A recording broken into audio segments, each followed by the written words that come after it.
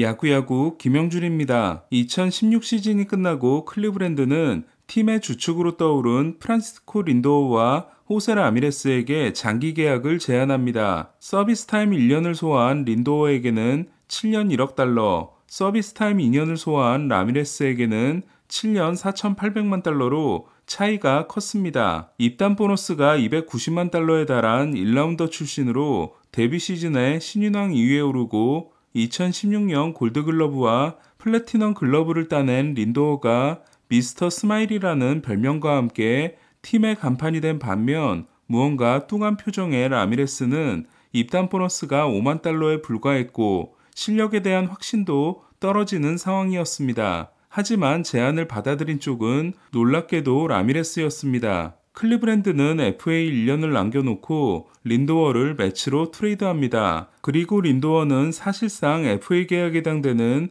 10년 3억 4천100만 달러 계약을 메츠와 맺습니다. 개인적으로 타티스보다 100만 달러를 더 받아낸 린도어의 계약은 최근 몸값 폭등의 시발점이었다고 생각합니다. 2021 시즌이 끝난 후 클리브랜드는 2년 2,400만 달러 계약이 남은 라미레스에게 6년 1억 1,400만 달러의 연장 계약을 제안합니다. 기존 계약을 합치면 11년 1억 4천만 달러 계약으로 라미레스가 받아들일 리 없었습니다. 클리브랜드는 2차로 7년 1억 2,900만 달러를 제시합니다.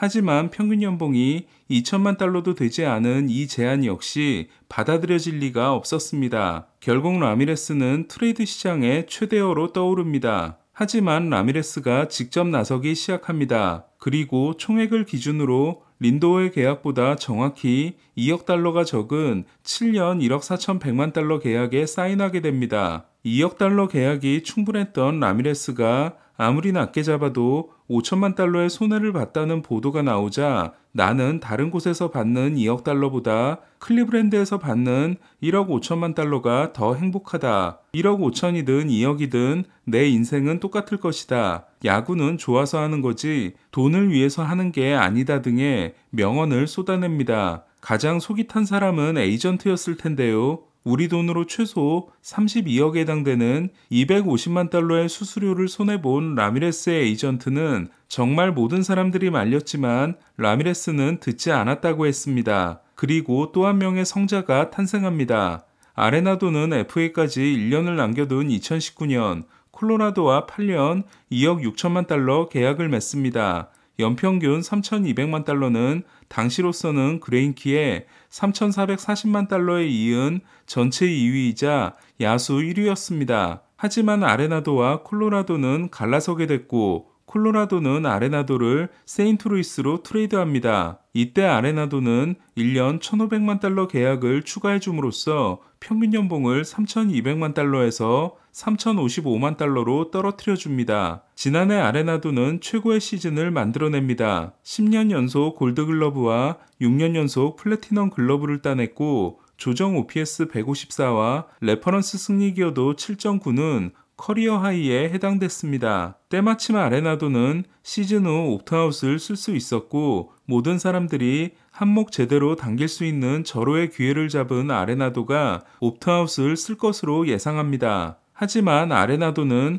5년 1억 4,400만 달러 계약이 남아있는 상황에서 옵트아웃을 쓰지 않기로 합니다. 아레나도가 옵트아웃을 포기하고 나서 아레나도의 속을 쓰리게 할 계약들이 쏟아져 나옵니다. 특히 마차도가 맺은 11년 3억 5천만 달러 계약은 아레나도에게는 직격탄이었을 겁니다. 결과적으로 마차도의 생애 연봉은 4억 9천2백만 달러가 된 반면 아레나도는 3억 1천만 달러로 마차도가 아레나도보다 1억 8천2백만 달러를 더 벌게 됐기 때문입니다. 마차도의 계약이 발표된 후 MLB 네트워크의 라디오 방송에 출연한 아레나도는 옵트아웃을 사용하지 않은 것을 후회하지 않냐는 질문에 대해 나는 지금도 내가 받아야 할 돈보다 더 많이 받고 있다고 생각한다는 충격적인 답변을 합니다. 그러니까 콜로라도는 이런 마인드를 가진 아레나도를 버렸고 세인트루이스는 돈보다 더 중요한 가치가 있다고 믿는 복덩이를 얻은 겁니다. 지금부터는 마차도와 아레나도를 비교해 보겠습니다. 1992년생인 마차도는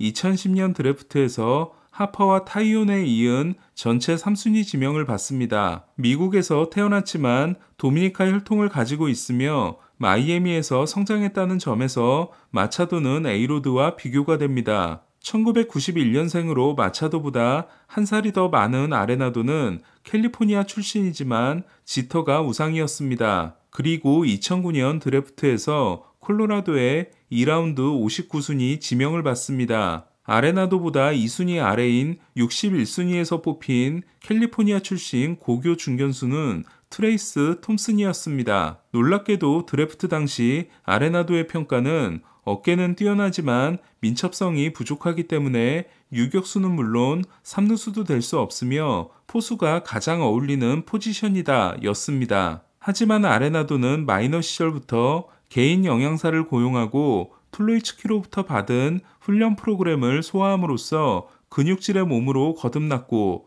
최고의 3루수가 됩니다. 그렇다면 더 뛰어난 3루수는 누구일까요? 레퍼런스 승리 기여도로 비교하면 아레나도는 통산 52.2, 마차도는 통산 52.0으로 한 살이 더 어린 마차도가 우위입니다. 팬그래프 승리 기여도에서도 마차도는 46.6으로 45.7인 아레나도에 근소하게 앞서 있습니다. 이는 공격력에서의 근소 우위 덕분으로 조정 OPS는 마차도가 126, 아레나도가 124, 조정 득점 생산력은 마차도가 124, 아레나도가 121입니다. 클래식 강자인 아레나도는 쿠어스필드의 도움을 얻어 30홈런 100타점 시즌을 7번이나 만들어냈지만 30홈런 100타점 시즌이 2018년과 지난해 두 번밖에 없는 마차도가 종합 공격력에서는 아주 근소한 우위를 가지고 있는 겁니다. 하지만 수비에서는 이야기가 달라집니다. 골드글러브 두 개를 따낸 마차도도 엘리트 3루수이지만 아레나도는 새로운 역사를 쓰고 있기 때문입니다. 아레나도는 지난 시즌을 통해 10년 연속 골드글러브에 성공함으로써 데뷔 시즌부터 시작한 기록으로는 이치로와 역대 타이 기록이자 내야수 신기록을 작성했습니다. 10개의 골드글러브는 마이크 슈미트와 함께 3루수 역대 2위에 해당됩니다. 그리고 리그에서 모든 포지션을 합쳐 한 명에게만 주는 플래티넘 글러브도 6개째를 따내 4개인 야디에르 몰리나를 제치고 역대 1위에 올랐습니다. 수비에서 노쇠화가 전혀 일어나지 않고 있는 아레나도는 이러다가는 브룩스 로빈슨이 가진 3루수 최고 기록이자 야수 최고 기록에 해당되는 16년 연속 골드글러브에도 도전할 기세입니다. 아레나도의 골드글러브 연속 수상은 결코 관성적인 선택이 아닙니다. 아레나도가 2016년 이후 기록한 OAA 92는 50인 매 체프먼과 36인 호세 라미레스를 제친 압도적인 3루수 1위로 같은 기간 마차도는 14를 기록했습니다. DRS에서도 아레나도는 155로 97인 마차도를 압도하고 있는데요. 지난해 기록 또한 아레나도는 OAA 14, DRS 19였던 반면 마차도는 OAA 9, DRS-3이었습니다. 최고의 공격력을 자랑하는 야수들이 나이가 먹고 승리 기여도를 왕창 까먹는 이유는 수비가 무너지기 때문인데요. 아레나도의 3루 수비가 마차도의 3루 수비보다 더 오래 엘리트 레벨에 머물러 있을 가능성이 높다는 점을 고려하면 승리 기여도 싸움은 아레나도가 유리할 수 있다고 생각합니다. 하지만 두 선수의 싸움은 이제부터가 시작이고 특히 누가 팀에 우승을 선물해 줄 수 있을지에 달려 있다고 할 수 있는데요. 팬그래프 스티머 예상에 따르면 아레나도와 마차도는 홈런, 타점, OPS, WRC 플러스, 팬그래프 승리 기여도에서 거의 판박이인 예측 성적이 나오고 있습니다. 앞으로 3,181만 달러 평균 연봉을 11년 동안 더 받게 될 마차도와 2,880만 달러 평균 연봉을 5년 동안 더 받는 아레나도 중 과연 누가 더 높은 평가를 받고 은퇴할 수 있을지 마이크 슈미트 대 조지 브렛의 대결이 다시 탄생한 느낌입니다. 한편 삼루수 이야기를 하면서 이 선수 이야기를 하지 않을 수 없는데요. 2년 전까지만 해도 최고의 삼루수였지만 드라마틱하게 몰락했으며 앞으로 4년 동안 3,857만 달러 연봉을 받는 앤서니 랜돈입니다. 2021년 고관절 수술과 지난해 오른손목 힘줄 수술로 2년 동안 105경기 출장에 그치고 레퍼런스 승리 기여도는 1.0에 그친 랜돈은 겨울 훈련을 통해 전과 같은 선수가 될 수 있다는 자신감을 가지게 됐다는 인터뷰를 했습니다. 그리고 여기까지만 했으면 됐는데 올 시즌이나 다음 4년이 안 풀린다고 해도 내 아이들의 성장을 함께하고 싶다. 지금 당장은 4년 동안 야구를 하는 것처럼 보이지만 내 아이들과 평생을 함께하기 위해 노력하겠다는 말을 덧붙입니다. 야구보다 가족이 더 중요하다고 해석할 수 있는 랜돈의 말은 어찌 보면 당연한 말일 수 있지만 말을 한 시점이 좋지 않았다고 생각합니다. 한편 샌디에고는 오도어와 마이너 계약을 맺었습니다. 텍사스 국제 스카우트 출신인 프렐러 단장이 프로파 마자라에 이어 또 한 명의 텍사스 선수를 영입한 건데요. 지난 4년간 승리 기여도가 마이너스 0.9로 수비와 공격이 모두 무너진 오도어는 백업 내야수 자리를 두고 브랜든 딕슨과 경쟁할 전망입니다. 오늘 소식은 여기까지입니다. 야구야구 김형준이었습니다.